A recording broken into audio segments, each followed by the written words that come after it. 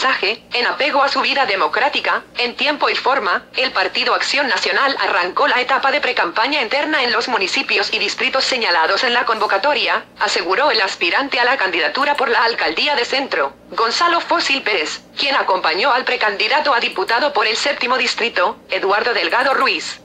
Fósil Pérez, comentó que con este proceso, se demuestra que la apertura ciudadana es una realidad palpable en la historia de Acción Nacional. En el Distrito Séptimo competirán Eduardo Delgado Ruiz y Elías Córdoba Sastre, con la seguridad de que al final del proceso prevalecerá la unidad partidista.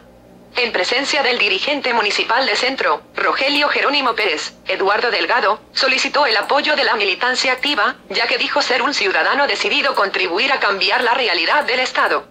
Consideró que en la actualidad el Congreso Estatal no es autónomo, no existe una clara separación de poderes, tenemos un Ejecutivo Estatal que se encuentra fuera de marco constitucional, ocasionando que no haya transparencia y rendición de cuentas. Además, dijo, los contrapesos institucionales para limitar y fiscalizar la gestión de las autoridades, están en manos de colaboradores cercanos al régimen que actualmente gobierna nuestro Estado. Durante este periodo presentaré mis propuestas. Y de ganar la elección buscaré un cambio radical para el Estado, lograr construir una entidad progresista, democrática y oportunidades que permita el desarrollo, lo cual solo se logrará a través de una alianza con los ciudadanos, es importante escucharlos y de ahí llevarlo hasta la tribuna de la Cámara de Diputados, sostuvo.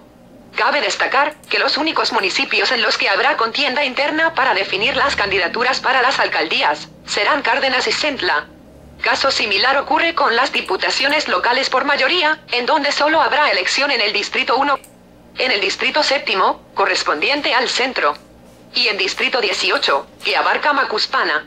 Para definir las diputaciones plurinominales, en la primera circunscripción, compiten Jorge Luis Ortiz Morales, Guadalupe Valenzuela Cabrales, César Abreu Casanova y Julio César González Aguirre. En tanto por la segunda circunscripción, Francisco Castillo Ramírez y Maricruz Ramírez de los Santos.